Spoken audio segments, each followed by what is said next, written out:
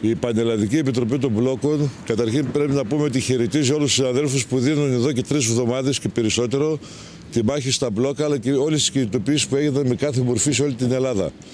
Και ακριβώς από την πρώτη στιγμή είχαμε πει ότι μέσα από τους αγώνες μας, μέσα από τις μαζικές μας κινητοποιήσεις, με την ενότητά μας και με την αποφασιστικότητά μας, μπορούμε να διεκδικήσουμε λύσεις στα αιτήματά μας και να αποσπάσουμε κατακτήσεις.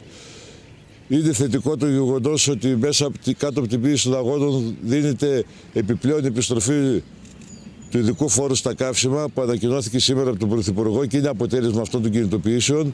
Βεβαίως όμως και σε μια σειρά άλλα προϊόντα που υπάρχει δέσμευση ότι θα δοθεί κάλυψη, αναπλήρωση του χαμένου εισοδήματος λόγω είτε του πολέμου, είτε ζημιών που έγιναν, είτε της μειωμένης τιμής στην παραγωγή και άλλα προϊόντα βεβαίως που εμείς επιχειρούμε να βάλουμε όλα τα προϊόντα που έχουν πληγεί, που έχουν πουληθεί κάτω από το κόστος παραγωγής να πάρουν αυτή την αναπλήρωση του εισοδήματος. Δεν, δεν έχει δεσμευτεί για όλα η κυβέρνηση, αλλά συνεχίζουμε και το παλεύουμε.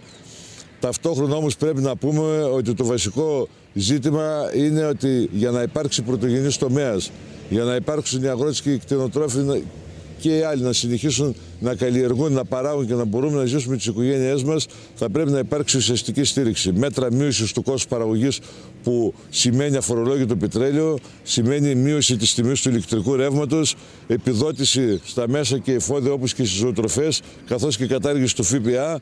Σημαίνει ότι θα πρέπει οι τιμές των προϊόντων που πουλάμε να καλύπτουν το κόστος παραγωγής και να μας αφήνουν ένα μεροκάματο για να συνεχίσουμε την καλλιεργητική δραστηριότητα. Αυτό είναι προ κατάκτηση. Δεν έχει κατακτηθεί ούτε σήμερα, ούτε έχει δεσμευτεί η κυβέρνηση αυτή την σε αυτή την πρόταση που έχουμε κάνει. Είναι ζητήματα που θα πρέπει να το δούμε και στο μέλλον. Ούτως ή άλλως ο αγώνας μας ούτε τελειώνει ποτέ σε μια κινητοποίηση, έστω και σε μπλόκα, έστω και αν είναι πολυήμερα. Είναι ένας αγώνας συνεχής, ο οποίος ε, πιστεύουμε ότι θα φέρει καρπούς και αποτελέσματα όσο πιο μαζικό και αποτελεσματικό γίνεται το αγροτικό κίνημα με οργάνωση τους συλλόγους, με οργάνωση και δυνάμωμα της Πανελλαδικής Επιτροπής των Μπλόκων, των Ομοσπονδιών και με, με τη μαζική συμμετοχή μας σε κάθε μορφή κινητοποίησης. Με αυτή την αισιοδοξία θα πάμε στα μπλόκα, με αυτή την αποφασιστικότητα ότι οι αγώνες μας φέρουν αποτελέσματα και πιέζουν πάντα την εκάστοτε κυβέρνηση. Θα πάμε στα μπλόκα, θα συζητήσουμε με τους συναδέλφους και θα δούμε πώς θα συνεχίσουμε αυτή την κινητοποίηση, η οποία σας είπα δεν τελειώνει ούτε σε μια μορφή, δεν εξαντλείται ούτε με μια μορφή,